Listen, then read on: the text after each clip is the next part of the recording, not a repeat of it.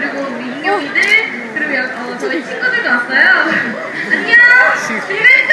친구가 오랜만이에요! 인형이 아, 그리고 항상 직캠 찍으러 와주시는 팬분들 너무 감사드려요. 네, 너무 감사한 팬분들 많고, 또 저희가, 어, 여기 이 무대에 있는 지금 이 모습이, 어, 유스트리밍과 그리고 어, 아프리카 TV의 전 세계로 생방송되고 있습니다. 안녕하세요. 보이시나요?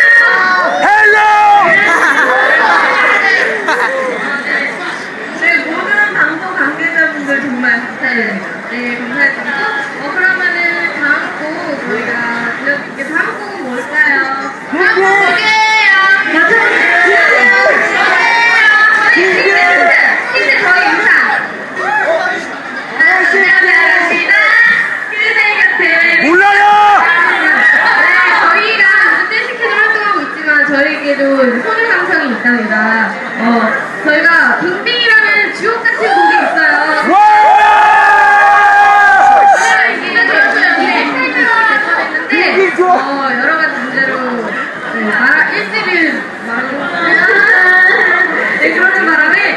좀 많이 밝혀 어, 보여주지 못했지만 지금 이 자리에서 여러분들께 빙빙 어, 신나게 보여드리겠습니다. 저 추워요.